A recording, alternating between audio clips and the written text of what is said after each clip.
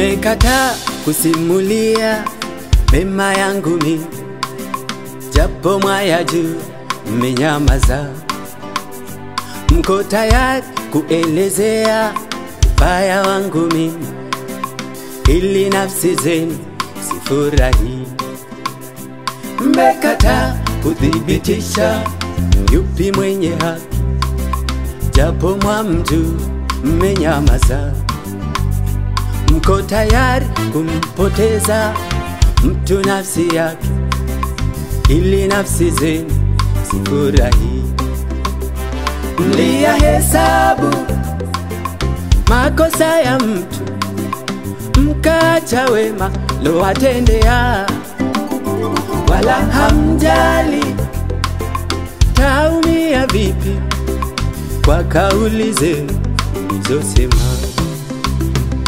Muwanene watu wenu maneno mazuri, muwabariki kwa usemi huko mtaani, wanapopatwa matatizo mhurumie nao, na wakati kuna mazuri mfurahi nao.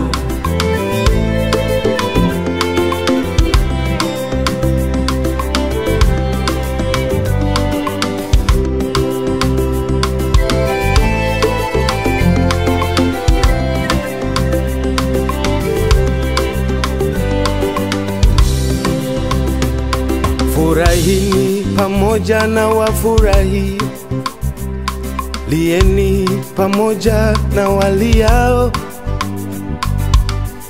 mkubali kushughulishwa na mambo manyonge, msiwe wa kujivunia akili, msimlipe mtu ovu kwa. Angalieni yaliyo mema machoni pa watu wote. Chozi laliaye kwa mwenye huzuni lina thamani kuliko cheko la achekaye na achekaye. Aijuaye huzuni ya mnyonge humaanisha kuliko achekaye na mwenye furaha ya, ya, ya. Wanene watu wenu maneno mazuri, kuwabariki kwa usemi huko mtaani, wanapopatwa matatizo nao, na wakati una mazuri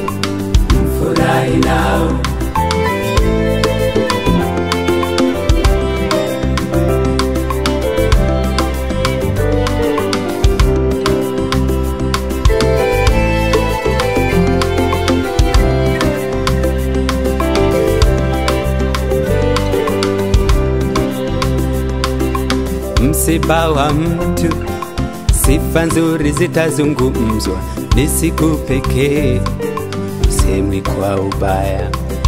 Mwambieni mtu wema wake bado yuko hai, moneshe upendo, mfurahi naye.